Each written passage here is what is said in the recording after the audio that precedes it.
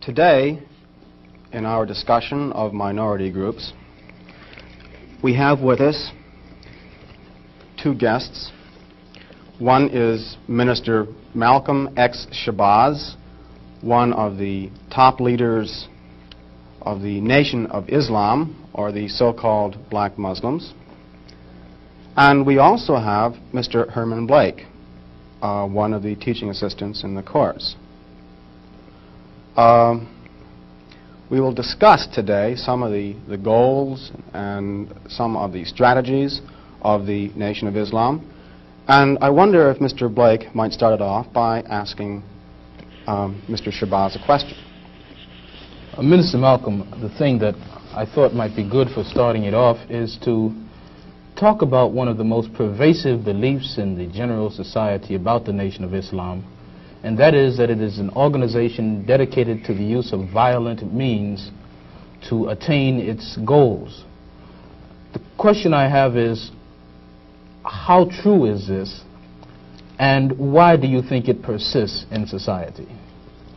Well, the, the Muslims who have accepted the religion of Islam and follow the religious guidance of the Honorable Elijah Muhammad have never bombed any churches, have never murdered any little girls, as was done in Birmingham, have never lynched anybody, have never at any time been guilty of initiating any aggressive acts of violence during the entire uh, 33 years or more that the Honorable Elijah Muhammad has been teaching us.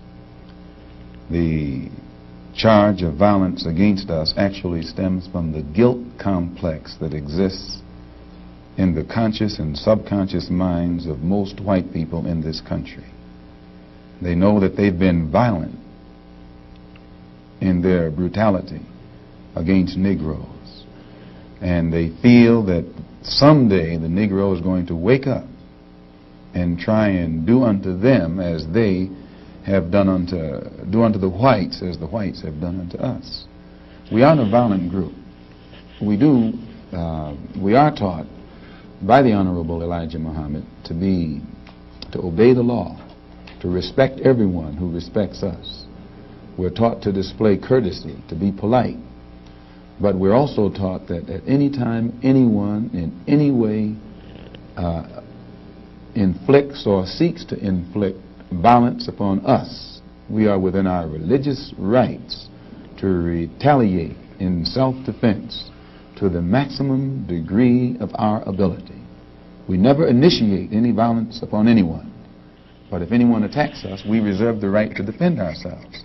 So to accuse us of, of being violent is like accusing a man who is being lynched, who is being hung on a tree. Uh, simply because he struggles vigorously against his lyncher.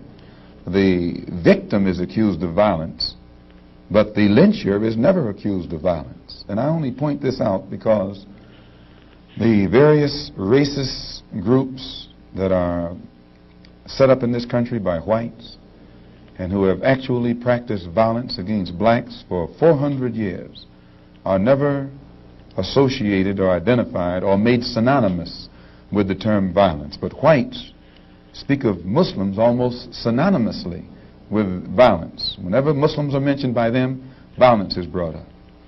But not but it's not connected with any other group. This is a sort of a propaganda tactic, or what I would call psychological warfare, to uh, in some way make uh, the image of the Muslims in this country be a violent image rather than a religious image. What's interesting is that uh, members of the Nation of Islam have not used violence even when uh, black Americans were attacked. Uh, how do you account for this?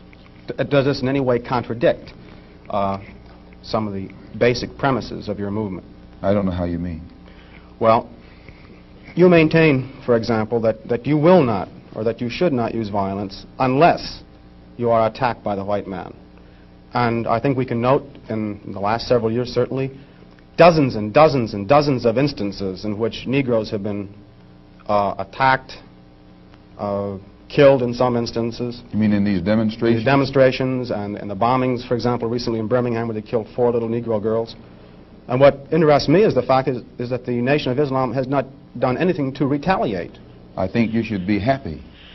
But Uh, no, that- no, no, the, no, the important thing is, does your lack of action No. contradict any No. of your basic principles? I'll explain it. You should be happy that Muslims who follow the Honorable Elijah Muhammad, number one, don't believe in any form of integration. And, who be- and, and believe that every mention of the word integration by whites, whether it be from the mouth of Kennedy on down to the mouth of the lowest, raggediest white liberal in the street who is beatnik-like involving himself in these integration efforts, if we believed in it, we would integrate and we would fight anybody who got in our way or made any effort whatsoever to stop us from integrating. Mm-hmm. If we really believed that the law of the land, the Supreme Court, and other so-called judicial bodies were for real uh, when they talked about integration, we would integrate. And knowing that the law was on our side, and any effort we made to demonstrate toward integration, why, we would know the law should be on our side, uh, if it's the law of the land. If it is the law of the land, then the demonstrators are within the law. And the uh, uh, discriminators are against the law.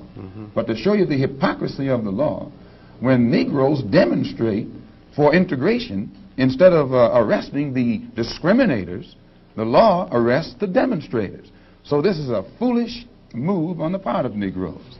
And when you foolishly get yourself involved with a, uh, an enemy, then whatever comes upon you, that's your business. As Muslims, we believe that separation is the best way and the only sensible way, not integration. And uh, on, but on the other hand, when we see our people being brutalized by white bigots, white racists, uh, we think that they are foolish to allow themselves to be beaten and brutalized and do nothing whatsoever to protect themselves. They are foolish. They, if, they should have the right to, de- to defend themselves against any attack made against them by anyone. If a dog is biting a black man, the black man should kill the dog.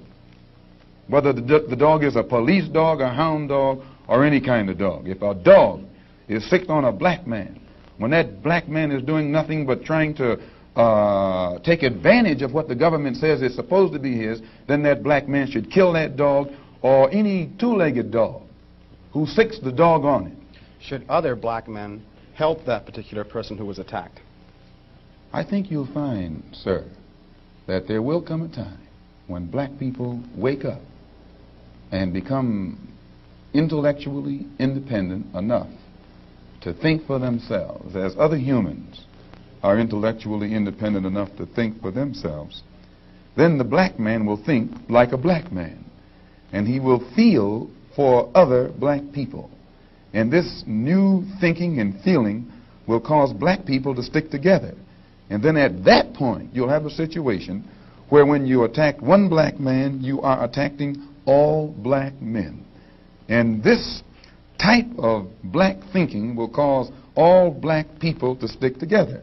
And this type of thinking also will bring an end to the brutality inflicted upon black people by white people. And it is the only thing that will bring an end to it. No federal court, state court, or city court will bring an end to it. It's something that the black man has to bring an end to himself. Minister Malcolm, let me, on the basis of your two remarks, ask uh, a, a double-pronged question. One, is it then your assertion that the laws res with respect to how Negroes are supposed to have equal opportunity and equal rights in this country are not meaningful or believed by whites? And secondly, what is then is your opinion and attitude toward the civil rights movement in general, and particularly uh, the Reverend Martin Luther King and his philosophy of nonviolent direct action? If uh, the white people really passed meaningful laws, it would not be necessary to pass any more laws. There are already enough laws on the law books to protect an American citizen. You only need uh, additional laws when you're dealing with someone who is not regarded as an American citizen. But whites are so hypocritical. They don't want to admit that this black man is not a citizen. Uh, so they classify him as a, a second class citizen to, uh, to get around uh, making him a real citizen. If he was a real citizen, you'd need no more laws. You'd need no civil rights legislation. Uh, civil rights, uh, when you have civil rights, you have citizenship. It's automatic. White people don't need laws to protect their citizenship because they're citizens. But they, want, they, uh, they don't want to tell us we're not citizens. And at the same time, they don't want to pass laws that are meaningful enough to protect us as if we were citizens. And the Supreme Court desegregation decision is the best example I know. That's a law from the Supreme Court. Ten years have gone by. No, no desegregated schools. it hasn't been implemented beyond, I think, 9% in 10 years. So this just shows you the hypocrisy of the American white man. They talk out of both sides of their mouth. And uh, for this reason, we who are Muslims, that is, who believe in the religion of Islam, who believe in God, we don't believe that black people will ever get any laws, get any problem with laws being passed or uh, new persons being put in office, uh, white liberals being put in office. There is nothing that the white man will ever do to bring about uh, true, sincere uh, citizenship or civil rights recognition for black people in this country. Nothing will they ever do. They will always talk it, but they won't practice it. And uh, with the Supreme Court, if the NAACP can tell me that they want a desegregation decision for me uh, 10 years ago, but yet the schools haven't been desegregated, as I say, this is a victory with no victory. Uh, it's a victory that you can talk about, but it's a victory you can't show me. So if you represent the NAACP and you are telling me about this great victory you won for me, when I look at you, I have to uh, conclude that either you have been duped yourself or else you are trying to dupe me.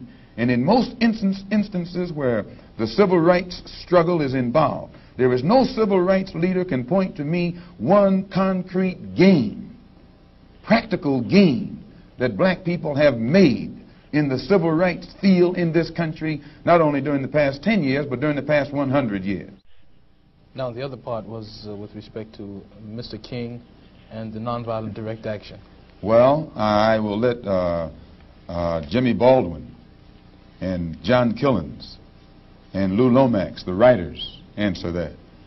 Uh, uh, speaking right after these, th this church was bombed in Birmingham, Christian church was bombed in Birmingham by Christians too mind you. And these four little girls were murdered. Uh, John Killens and James Baldwin and uh, Lomax and the Negro writers and actors had a meeting at the town hall in New York.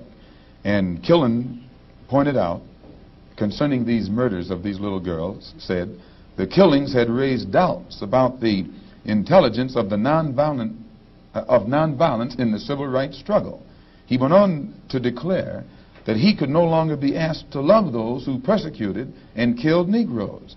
He also, uh, and the writer, uh, Mr. Handler, who's, who's uh, describing this, said that Killens, it was not clear concerning Killens' remarks to his audience that he was breaking with the, it was clear rather, to his audience that he was breaking with the doctrine of the Reverend Martin Luther King's uh, uh, philosophy that as Christians, Negroes should love their fellow man in a truly religious sense. Now, James Baldwin, speaking on that same platform, said, and I was present during this entire affair, asserted that the American people shared a collective guilt for the persecution of Negroes, much as Germans did because of their silence during the Nazi persecution. He denounced President Kennedy for what he termed Kennedy's lack of passion in the civil rights struggle. Mr. Baldwin said that there could no longer be a Republican Party for the Negro people as long as it listed a Barry Goldwater, nor a Democratic Party for the Negro people with a Senator Eastland on its roster. He asserted that the federal government acted swiftly and energetically, that unless the federal government acted swiftly and energetically, future slaughter would make Birmingham look like a dress rehearsal. I, and now, how, what do I think about uh, King's uh, attitude? King's right-hand man, uh, Wyatt Walker, at King's convention, according to the New York Times on September the 26th, said, we quote, we have been duped. meaning these persons involved in the civil rights struggle, of which King is the symbolic leader. His right hand man says, and I quote, We have been duped or have duped ourselves into believing that the chains have been broken, when in truth we have only been chained more securely. Half freedom has in many instances been worse than no freedom at all. Why, don't ask me what I think about their struggle. I can tell you what they think about their struggle. And they, have, and they are, are, are pointing out that it is becoming more difficult every day uh, for the civil rights leaders to keep the masses of black people uh, nonviolent and uh, long-suffering and patient and keep them from becoming disenchanted. I hope that answers your question.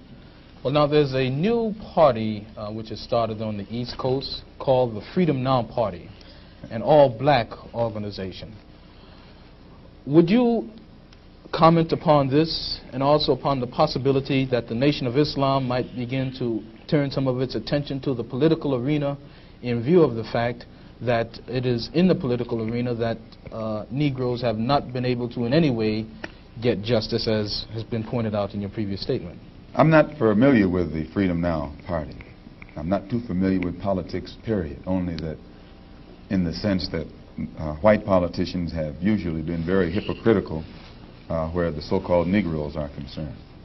Uh, so I'm a bit disenchanted uh, with politicians and politics. The Honorable Elijah Muhammad is a religious man, and his teaching is religious, and his solutions are religious. Uh, the Freedom Now Party, from what I understand, is headed by a man named, a lawyer named Conrad Lynn. Mm-hmm. I know him. he probably means well. Um, uh, before passing an opinion on what it is he's trying to do, I would like to uh, analyze it and see who's subsidizing him, see who his friends are, especially who his white friends are. Uh, and after uh, a careful analysis, if I could conclude that uh, there was no uh, white support, I would be inclined to have confidence in it. But if I saw him leaning too heavily upon his white liberal friends for support, then I'd be suspicious of that too. The Muslims, in my opinion, uh, represent an all-black party. Uh, and the Honorable Elijah Muhammad pointed out at uh, before 10,000 in Philadelphia on uh, September the 29th uh, at a rally that we were having that in 1964 the black people should band together and do something about electing, uh, selecting and electing representatives, black representatives, politically, who have the rights and the um, the best interests of the black people at heart and that we should also unite together and sweep out of office all of the black political puppets who are used by the white power structure to continue white supremacy uh, in our communities. In that regard, would you include um, Congressman Dawson, for example, from Chicago, and some of the people who represent him on the Chicago City Council? In which regard? Uh, in, in, the, in the area of acting as a puppet. I don't know what Mr. Muhammad's opinion is of Congressman Dawson. They both live right there in the city of Chicago together. Mm -hmm. uh, I don't know what his uh, opinion is of Congressman uh, Dawson. Uh, I'm suspicious of any Negro, be he politician, uh, be he clergyman, or civic leader who is constantly patted on the back by whites. I have a tendency to lead toward the Negro politician who is constantly condemned by the white power structure. Uh, this is my thought pattern. I'm giving you an insight of it. You, uh, though, mentioned Mr. Lynn and saying you'd like to know who his white friends are. Now, I'm wondering if you didn't make a contradictory statement in Muslim terms by using white and friend in the same phrase. That is I use say, friend in quotes. I see. In other words, if a, if a black man cannot have a white man as a friend. He may have a white man who's friendly, but being friendly and being a friend, I think, are two different things. I think there are many whites who act friendly toward Negroes. A fox acts, acts friendly toward the lamb. Mm -hmm. And usually the fox is the one who ends up with the lamb chop on his plate. Mm -hmm. The wolf doesn't act friendly. And therefore the wolf has more difficulty in getting the lamb chop in his plate. I'd like to point out, though, that... And I, I, I say that because it is usually the, if you study the structure of the Negro community, mm -hmm. economically, politically, civically, psychologically, and otherwise, it's controlled by the white liberal, who usually poses as the friend of the Negro, who actually differs from the white conservative in, in the same way that the fox differs from the wolf. Uh, their appetite is the same. Their motives are the same. It's only their mannerisms and, and methods that differ. I would agree that um, no doubt there have been a large number of, of whites who have posed as liberals and as friends of the Negro and who have time and again betrayed the Negro. Uh, on the other hand, I think one could point to a large number of whites uh, who have struggled for civil rights, Give me for example. equality, and have got little or nothing out of it, uh, other than uh, quite a few bruises Give me an example. well, the, the large number of, of white uh, students who have gone into the South, for example, working for SNCC and other organizations. Not working for SNCC or other organizations, but working for the white uh, political machines who benefit by the voting uh, efforts of Negroes. Okay, I'll be more specific. Uh, I would cite Herbert Hill, for example, as, an, as, as a kind of person who has uh, championed Negro job rights, for example, uh, in New York City and elsewhere. He has fought the political machine. First time I met Herbert Hill personally was when they were picketing to stop the working on the uh, Harlem Hospital in Harlem. Negroes for 10 years had to fight the city to get uh, an annex built on the Harlem Hospital. Because in Harlem we need a hospital more so than anything else. Our people are sick.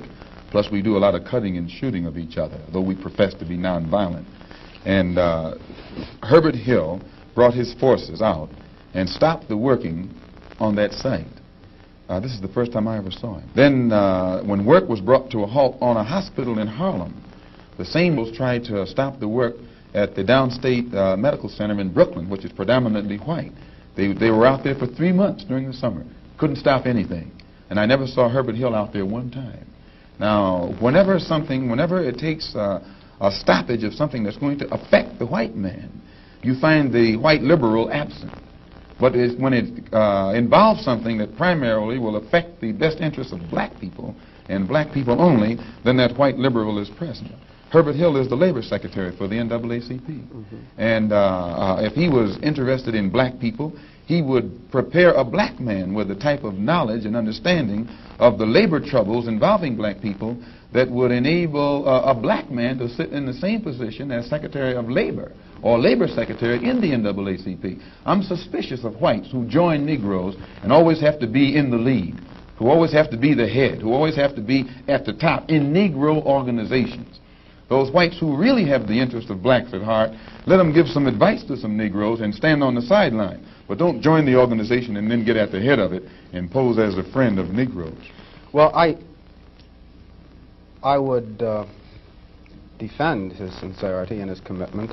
And more than that, I would say that just because a person is a Negro or a black American does not mean that he's going to struggle for, for Negro rights or, f- or for jobs for Negroes or anything else. I think that today you could point to a large number of, of Negro leaders who have consistently betrayed Negroes in a whole host of areas. They aren't really Negro leaders. These are puppets that have been put in front of the Negro community by white liberals. These are parrots that have been put in front of the Negro community by white liberals. You can't name me a Negro leader who has been a Negro leader who has been who has betrayed Negroes, who is not who has not been endorsed, sanctioned, uh, subsidized, and supported by the white liberals. Minister Malcolm, I'd like to Well, I could cite one example would be Congressman Dawson, for example, in Chicago. In, in Chicago, a large number of liberals located in the Hyde Park district have consistently fought Dawson and his betrayals of the Negro, and they've also fought some of the people who represent Dawson on the Chicago City Council. The only Negro I know who is constantly fought, only Negro politician that I know who is constantly fought by white liberals is Adam Clayton Powell. And they call him a racist because he speaks so bluntly on the race issue. Uh, but I'm not, as I said, not too familiar with Dawson and his work. let me let me return uh, to the Nation of Islam per se, Minister, by raising a question which uh, struck me as a result of reading some of Baldwin's work, namely The Fire Next Time. Baldwin pointed out that in Harlem for many years he had passed the street corners and the soap boxes and heard people speaking from these platforms who were known as black nationalists, and nobody was listening. And he said all of a sudden he realized that people were beginning to listen to the Muslim speakers on the street corners in Harlem. The message essentially was the same, but it was that now many, many people were listening to what this message was. And you pointed out that uh, the Nation of Islam has been in the uh, picture for about 33 years. What is it, in your judgment, that has caused this tremendous amount of support that the Nation of Islam has garnered in the Negro community in, say, the last 10 years? When you put a seed in the soil, it remains beneath the soil until the season changes. And, and when the season changes, that the seasonal change automatically brings about uh, rather atmospheric conditions, bring about a seasonal change that makes that seed come up or crop grow uh, in its appointed time. And all over this world today, God Himself has brought about political uh, changes, a political atmosphere, sociological, social atmosphere, um, economic atmosphere. These economic conditions, these political conditions, and social conditions uh, combine to bring about a situation that is making black people in America more receptive, their mind more fertile to the seed of truth that the Honorable Elijah Muhammad has been planting for 30 some years. And this is springing up today and causing our people to see and understand now what they couldn't see and understand before. What is the nature of this situation which is making black people more receptive? The, well, you take uh, the, in the past, say, 15 years, how uh, the nations have emerged, dark nations have emerged in, in Africa. Uh, prior to 10 years ago, most Negroes associated, identified Africa with a savage, jungle-like place. And whenever you mentioned the word African in their mind's eye, they could see the image of a, someone running around with a spear, uh, with no language, who'd say Ugga Bugga Boo or Bwana or something, and uh, who'd be in a jungle running from lions or chasing lions. But then, when uh, after the war, when the United Nations was set up in New York City, uh, black people begin to look at uh, uh, men like Tom Mboya. They begin to look at men like uh, Nkrumah. They begin to see men like Lumumba. They begin to see men like Nasser. They begin to see uh, these uh, Balewa and Azikiwe who could uh, exchange intellectually with whites on an international level in a political form and hold their own. This made the black people in this country realize that what the Honorable Elijah Muhammad had been teaching all the time actually had substance. And they began to turn it over in their mind and see that what he was saying had more weight to it than what these other uh, Negroes were saying. And they began to identify themselves with the black world and the black struggle more uh, closely than they identified themselves with this so-called white world. Let me ask you a question with respect to a statement which Essien Udom quotes as being on a bulletin board in the University of Islam in Chicago by the Honorable Elijah Muhammad. According to Essien, Mr. Muhammad states, Up, you mighty race. You can accomplish what you willed. Build your future on these foundations freedom, justice, and equality. What is the definition of freedom, justice, and equality for the black man, and where and when is it to be attained? Well, take equality first. The Honorable Elijah Muhammad doesn't teach us to uh, associate equality with whites. Equality has nothing to do with whites. We, want e we don't want to be equal with the white man. He's not the criteria or yardstick by which equality is measured. He's not in a position to tell us we are equal. It's not his right. It's not his to do. Equality, we want equality we had equality before the white man was created. We had, the, we had equality before the white man came into existence. And we want equality whether the white man is on this earth or not. Equality means the uh, opportunity to develop all of our dormant potential, all, all of our dormant capability. And, and, and uh, in developing this dormant uh, capability, the right and the ability to stand on this earth on some land uh, of our own and bring about a civilization and a society in, we will, in which we will be completely independent, complete freedom to uh, uh, take care of the needs, to take care of the uh, wants and the likes and the dislikes of our people, to establish our own nation, our own society, our own heaven, our own future. This is what we mean by freedom, by uh, equality, and justice means uh, as you sow, so shall you reap. If you do wrong, you'll get wrong in return. And if you do right, you'll get right in return. When you're in your own nation, in your own land, you're in a position to get justice.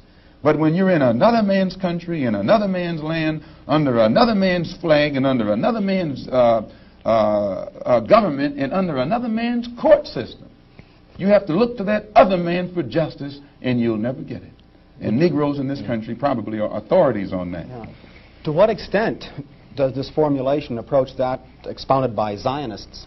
Uh, they, for example, many Zionists, Zionists maintain they could never expect uh, justice in the Tsarist courts and, and the, the, courts found in other countries in Eastern Europe and so on.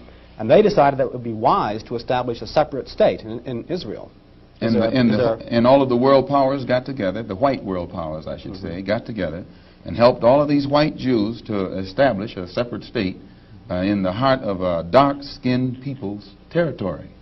Uh, and if white people can get together and, and, and let other whites, help other whites uh, to establish uh, an independent nation right in the midst of dark-skinned people, and then we see, we don't see where white people should be so much against the Honorable Elijah Muhammad's solution not of setting up an independent dark nation in a white people's property, but he's asking uh, uh, the opportunity to set up an independent nation in our own, on our own continent. Let us leave America and go back home among our own people on our own land and set up our own independent society. But all he says is that this government, which made us slaves, should supply the transportation for us to get back home and give us all of the machinery and the tools necessary for us to till the soil, and establish our own agricultural system to feed and clothe our people, our own economy, and in some way become an independent people among our own people on our own continent. This is intelligent.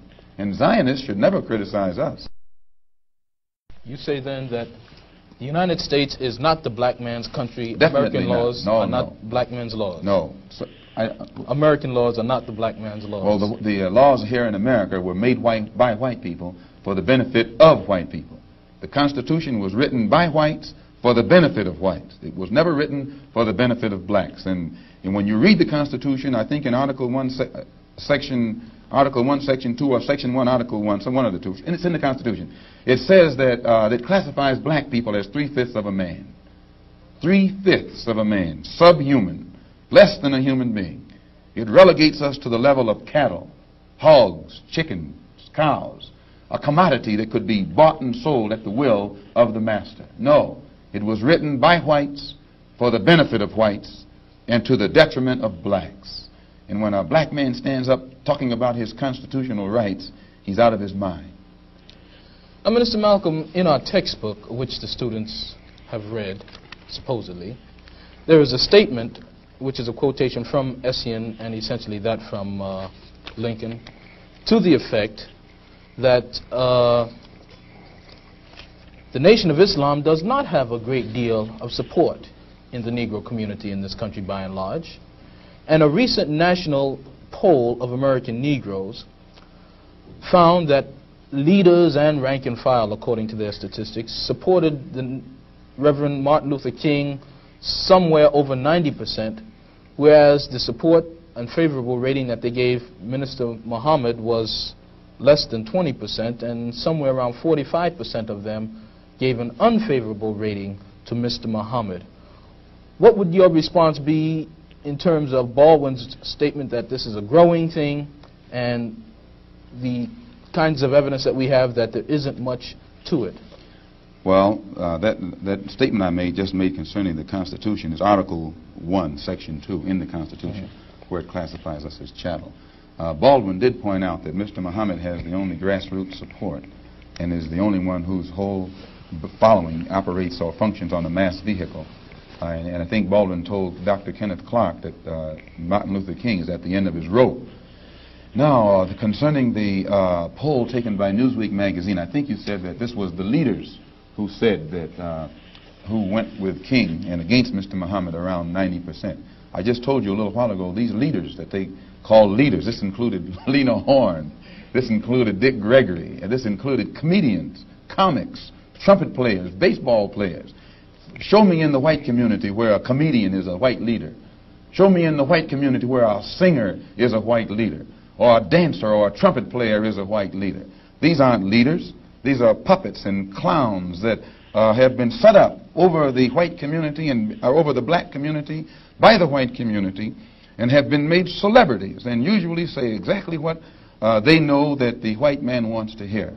And it is an honor, actually, that they endorsed Dr. Martin Luther King and uh, uh, were against the Honorable Elijah Muhammad. That's actually an honor.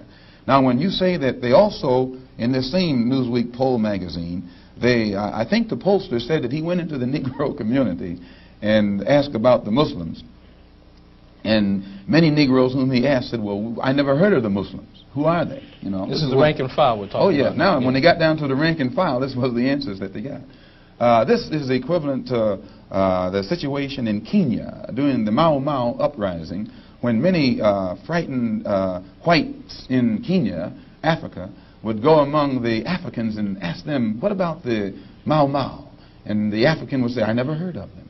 And the same white man who would ask the African this question and very naively believe what the African said, when he went to bed that night, he would lose his head. And usually the one who took his head was the same African who told him that afternoon he had never heard of the Mau Mau. Except uh, in the Newsweek poll, they used Negro interviewers.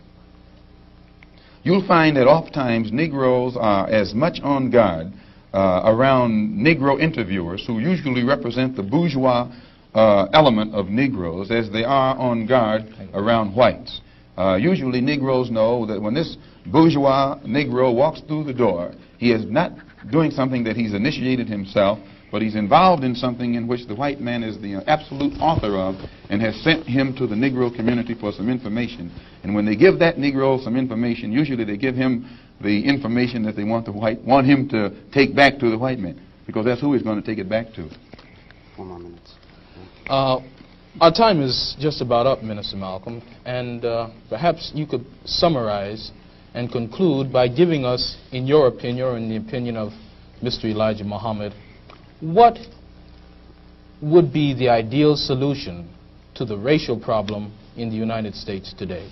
Well, on Thursday, October the 3rd, the New York Tribune, in an editorial, pointed out in Boston, in an article called The Civil Rights Iceberg, they pointed out how Kennedy had realized that beneath the water, the civil rights uh, whole problem uh, was political suicide. Because in his own hometown, the head of the Board of Education, a woman named Mrs. Uh, Hicks, was running against the NAACP philosophy, and she swept aside all other opposition. The whole white community supported her in opposition to the NAACP's desire for integrated schools, integrated housing, and otherwise. So I say that to say this, that even the Jewish community, which is supposed to be pro-liberal, went against the NAACP. Whites are against integration in practice but they're for it in principle. So the only solution is separation.